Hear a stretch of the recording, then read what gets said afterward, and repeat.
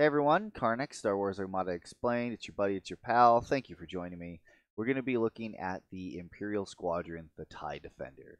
I am a big fan of the TIE Defender, but you don't see it a whole lot in competitive play. Why is that? I'll touch on that a bit. Let's dive right in. So the TIE Defender, you know, in a standard 400 point game, you can bring up to 134 points of squadrons. The TIE Defender, if you look at the bottom right hand corner, you'll see its point cost 16 points. Uh, opposite of that is its icon. The TIE Defender is a what we call generic squadron. Means you can bring as many of them as, as you like to within your point cost allotment. Their stats going from left to right is they can move within distance 5, so they're a very fast squadron. Uh, they have 6 hulls, so pretty pretty beefy on the hull points there, pretty durable. They have 2 blue anti-squadron and 2 black anti-squadron die for total of 4 die, 2 and 2 and their anti-ship armament is a single blue die. The only keyword they have is the bomber keyword. And the bomber keyword allows them to be able to deal damage on a critical symbol and also allows them to resolve critical effects. So typically for squadrons, if they don't have the bomber keyword, what this means is when they roll their anti-ship die, uh, only the hit symbols will actually deal damage. No other symbols will deal damage, not not including the critical effect. Um, with the TIE Defender, what this means is that, again, on a blue die, you have eight sides. There's four hit sides, two critical sides, and two accuracy sides. So again, a normal squadron with just a single blue die, it's a 50-50 chance whether you deal damage or not. With a TIE Defender, with those two critical symbols now becoming damage, you have a 75% chance of rolling damage with your blue die, um, and a 25% chance of, of rolling an accuracy. So you know, bomb they they are one of the best multi-role squadrons in Armada. But again, the touchback on why don't you see them so often? It's kind of their point cost, and their anti-ship armament is a tad lacking. Um, so again, for 16 points, yes, they may be really great at killing, you know, gener- other generic squadrons because you know you can fly up, you can toss the two blue, toss the two black, you know, I just did three damage compared to if I'd rolled four blue die, you know, uh, there's that there's that risk of well, I still rolled a really good there, but you know, you you've got other chances of potentially not having great damage output. And again, that kind of ties back into why you don't see them as like, well, why spend 16 points for a TIE Defender when I can spend 11 points on a TIE Interceptor that also has reroll and it's cheaper and has counter. Um, it still is commanded just like a TIE uh, Defender is. And yeah, sure, the TIE Interceptor's um, anti ship armament being able to blow up ships is not as great, but a 50% chance of damage compared to still 75% chance of damage. You know, I'm going to go with the 50% just because that way I can bring more interceptors, clear the skies of enemy squadrons, and that way if i did bring some other types of dedicated bombers they can then go in and, and do what they need to do. You know so that's kind of the drawback of the defender is it's really good at you know it's really fast it's it's tough it can it can nuke enemy squadrons it can take a hit um, but then when you do lose it that's 16 points compared to an interceptor, which usually you can get more value. It's essentially it's just it comes down to values, and it's not that you can't build lists with tie defenders and have them do good.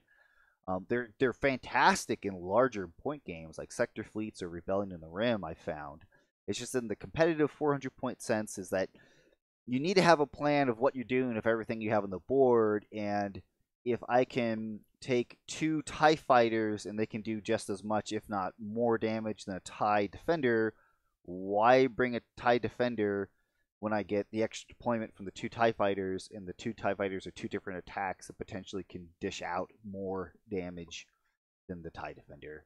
So that's kind of the drawback, is that its point cost. I think it's just it was priced just maybe a point or two too high. Or even if it had been priced 16 points, maybe the anti-ship die had been a black die instead of a blue die. I don't know. I'm not a I'm not a developer. I couldn't tell you. I'm just throwing out ideas. But I mean, like I said, they're they're fun and they're great in in when you've got more points to play with, or like in Rebellion of the Rim, where you start with those point costs and you really want like a really beefy kind of squadron. Okay, I've touched enough on that. Let's talk about my boy Maarek Stele. Maarek Stele, gonna come out and say it. It's a it's maybe not a commonly accepted agreement, but it is a is a, an accepted agreement that he is one of the best, in my personal opinion, is the best squadron in Armada, hands down. He's 21 points. Again, he's unique with the dotted bullet point there in his name. Can only bring one of them. He has all the same stats as a TIE Defender, except he has two blue die in his anti-ship armament. Again, he's got Bomber. He's got double braces. Uh, he also has Grit, and how Grit works is that if he's only engaged by one enemy squadron, uh, he can say, nope, I'm just going to bounce out of here. You can't stop this. But if he's engaged by two enemy squadrons, then he can't move away from them.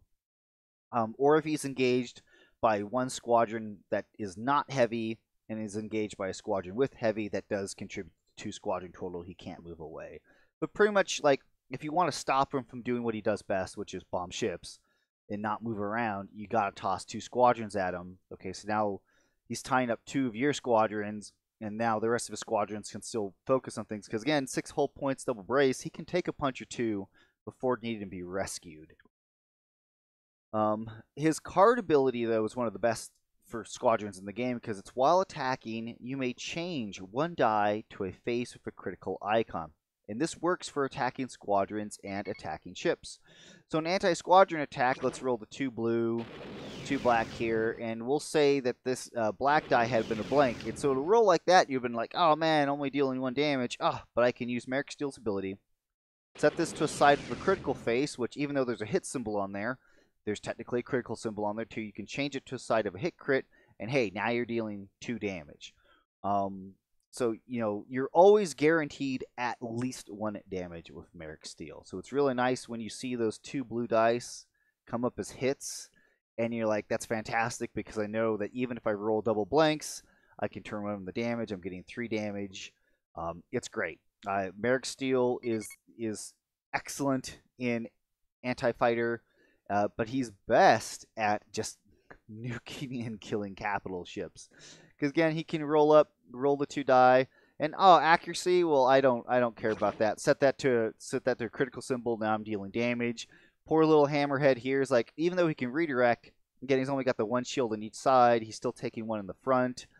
Um, you know, you just can pound away. And where he is best comboed with is with Colonel Jendon, because Colonel Jendon can pass his attack to other squadrons. So you you almost always see these two squadrons together because they just work so well in tandem. You have St Stele fly up, deal two damage. Flies up again, deals two more damage. That's four damage from just those two squadrons. That's as much as you know most small ships uh, in some cases. So, you know, and they're self contained and self sufficient because Relay can always get to Maarek Stele wherever you, you need to get them. And yeah. And one thing I do want to point out is that not some players uh, kind of connect the dots on this is if you are bringing Admiral Sloane. Uh, remember, Admiral Sloane's one of the abilities that Admiral Sloane has is that if a squadron rolls a critical symbol, they can re-roll that die. So if you're trying to do something like strip a defensive token off of something like, for example, large ship, like say at the top of turn two, I can fly Maarek Stele up and say I that was my initial roll. It's like, well, I want an accuracy symbol because I want to try to get rid of a brace on the ship. You can re-roll that critical symbol and like, ah, you know what? I didn't get it. Well, I can still set it back to damage. No problem. Or in a case where if you did, uh, you know, roll double hits, if you did roll double hits and you're like, well, I, I want to try to fish for that accuracy, you set that to a crit with Maarek Stele's ability and then re-roll it with Sloane. You know, so he's just, he's, I mean, if you if you see Sloane, Maarek Stele, and Colonel Jendon not far behind. Um, and I've also seen a case where you just kind of tag team them with a Gozanti, because a Gozanti can just command both of them.